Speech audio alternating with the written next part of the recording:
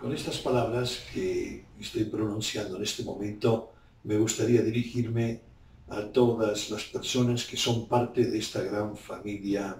de fe y alegría, tanto a nivel federativo de los 22 países que conformamos fe y alegría en el mundo, como la gran familia de fe y alegría en nuestra querida tierra de Bolivia.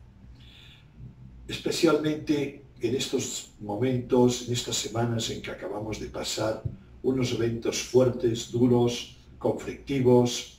y hasta violentos a nivel nacional en Bolivia,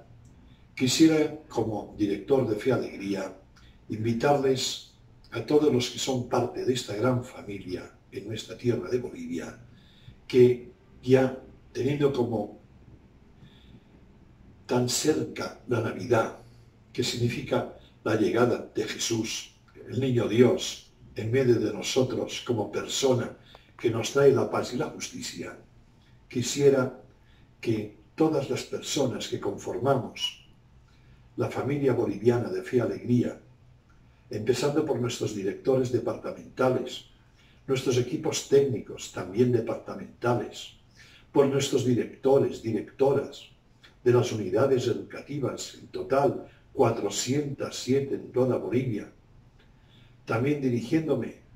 a los papás, mamás, docentes y de una forma muy especial a nuestros estudiantes, que son parte viva, protagónica de esta familia, quisiera sobre todo, y en estos tiempos tan especiales que vivimos en Bolivia,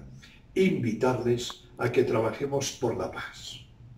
que trabajemos por la concordia, Bolivia necesita más que nunca en estos momentos un espíritu de paz, de reconciliación y de proximidad entre unos y otros, de acercamiento hacia la unidad, de tolerancia, de respeto, de amor, de sentirnos bolivianas y bolivianos entre todos. Quisiera en este momento, querida familia boliviana de fe y alegría, recordar aquellas palabras tan hermosas que salieron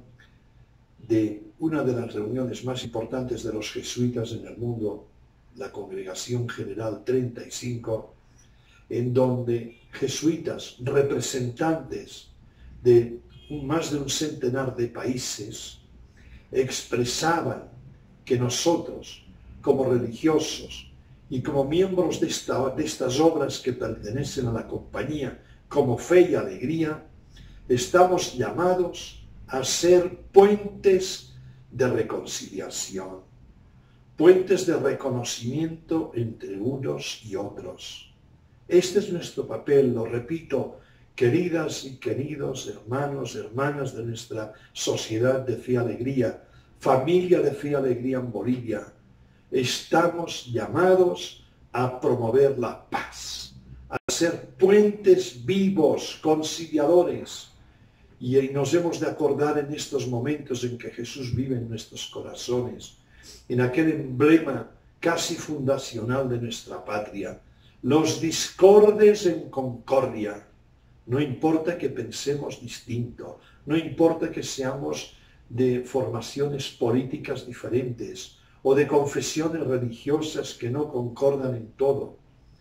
busquemos la paz, busquemos ser puentes entre unos y otros al servicio de la unidad y de la construcción de esta hermosa Bolivia que todos tanto amamos y por la cual todos hasta estamos dispuestos a morir. Morir antes que esclavos vivir, al estilo de los cristianos y cristianas, seguidores de Jesús, que tengan de todos modos toditos, toditas, una feliz Navidad.